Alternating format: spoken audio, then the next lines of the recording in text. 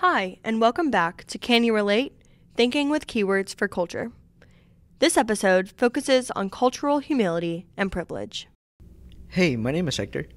And hello, my name is Ella. How are you today, Hector? I'm doing okay. How are you? Pretty good. That's good. Um, well, you know, in order to prepare our listeners for cultural engagement, let's explore a few topics. what are we going to discuss today? Um, let's talk about cultural humility and privilege.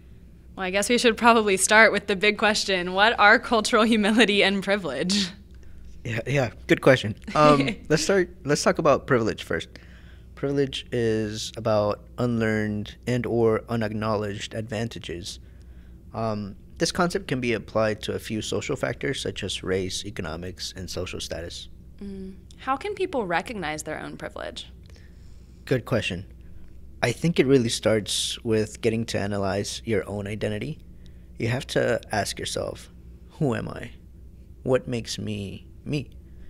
And, you know, just to give an example of my own, like, I would have to analyze my own identity. And it can be pretty simple. Um, I am Latinx. I identify as Latinx. Um, I identify as a straight male. Um, I am 21 years old. Um, I am an American citizen. Um, I love to play soccer. I'm Catholic. Um, yeah. So, I guess for me, you know, it would be like I identify as a straight white female. I'm a Christian. I'm from Lexington, Virginia. I'm also 21 years old. I'm a Wofford student. And I'm also an American citizen. Lots of times you can identify your own privileges once you establish the different parts that make up your identity. One of the biggest terms that's come up in current events is white privilege. If you are perceived as white, then you have a certain privilege. However, whiteness is not solely based on skin color, but is rather complicated and has a heavy history. For the purposes of this episode, we will refer to white privilege as the barriers that whiteness eliminates that are often hard to recognize. This privilege is a result of social norms and creating groups that morph themselves into the dominant group versus the other group. In this sense, white people have historically been the quote unquote dominant group. So, would there be a way to like stop having this sort of privilege or any sort of privilege? That's a good question. I think if you have white privilege per se, it's a result of societal norms and just social constructs based around race. So if societal norms change, then white privilege may break down. The most essential thing now, though, however, is just to recognize how, in certain environments, your skin color gives you a certain advantage. Um, I guess what I mean by that is that white privilege isn't just going to go away overnight.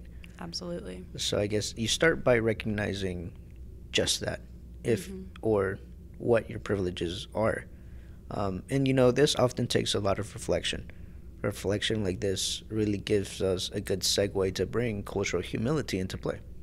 So, would you say then that cultural humility is related to privilege? Yes and no. These two terms are not really equivalent. Um, however, they do provide perspective. Cultural humility is all about self reflection and self recognition. The phrase cultural humility is not often used in academic settings. Other common phrases you might hear include cultural competence or intercultural engagement. However, these phrases suggest that these are things you might achieve or gain. On the other hand, cultural humility refers to the ongoing, continuous disposition and process of showing reciprocity and reflecting on mental models that we have so as to engage with each other with reciprocity and respect. This is achieved through self reflection and awareness. By doing this sort of reflection, you will be able to point out not only privilege, but even identities that may interact with norms of other cultures. Cultural humility allows us to recognize our biases, our interpretations, and allows us to see our intersectional identity. Gotcha. So, would you say that it's like a United States only sort of thing? Yeah, yeah. I'm glad you asked. Um, cultural humility is not. You know, anyone can practice it. Right. However, U.S. power dynamics and privilege does work differently. Um, And so, you know, I would even say that it depends on each environment or culture that you're part of. Um, those who have grown in U.S. culture often think too highly of themselves when compared to other cultures. Um, like they may not say it to your face, but they certainly won't admit that they're less than someone else. Absolutely. Um, so this mindset puts individualism. Um, sorry, this mindset plus individualism plus structures that exist today create these power imbalances. Absolutely. There are lots of racial disparities, disparities in education, low income, and just overall different groups of people that are oftentimes very overexploited. Precisely. So, how does one become culturally humble then? Yeah, so mm after self self reflection and having knowledge of what really makes up your identity, we can put ourselves in the position of allowing others to educate us, even if we have experience with that culture already. Right. So, I guess in other words, we shift the power from us to an equal balance of power, if not directly giving others the power to express themselves. And so, this shift in power can be really impactful. It definitely sounds like it. So, could you give me an example of cultural humility in practice? Um, yeah.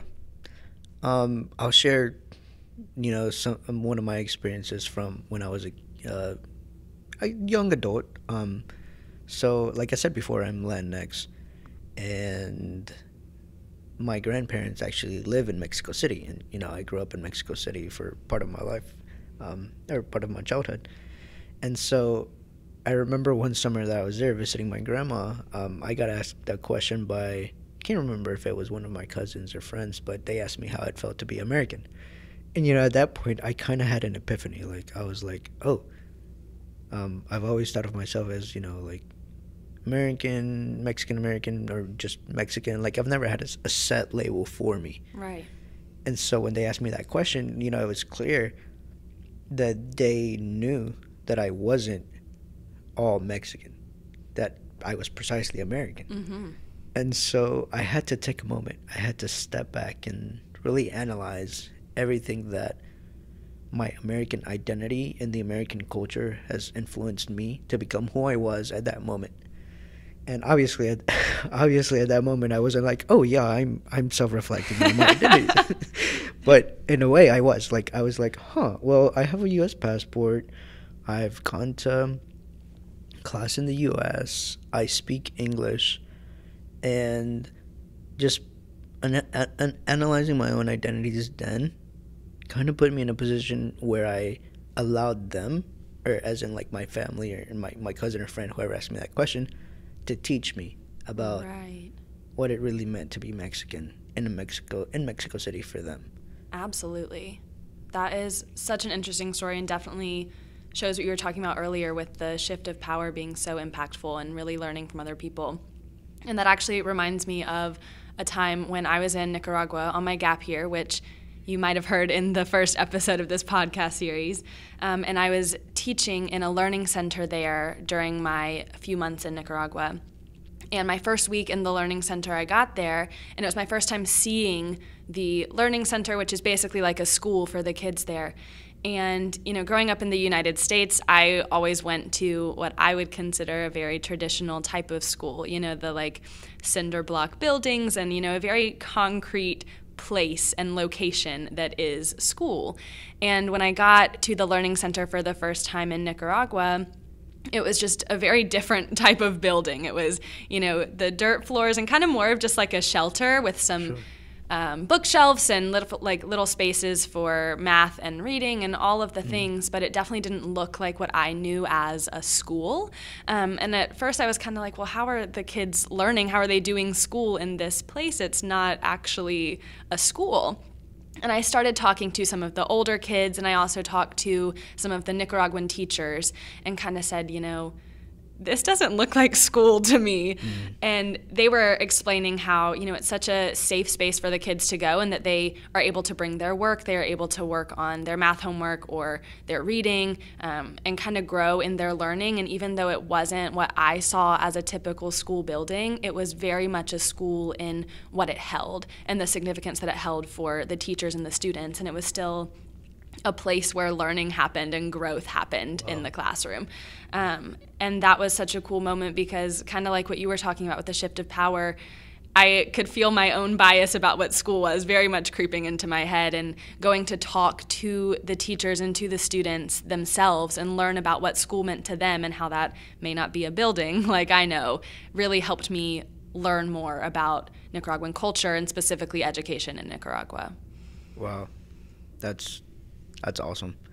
Um, well, you know, like in both of our experiences, I think we can really say that self reflection can really help us think about our own personal identity and just what other factors influence that.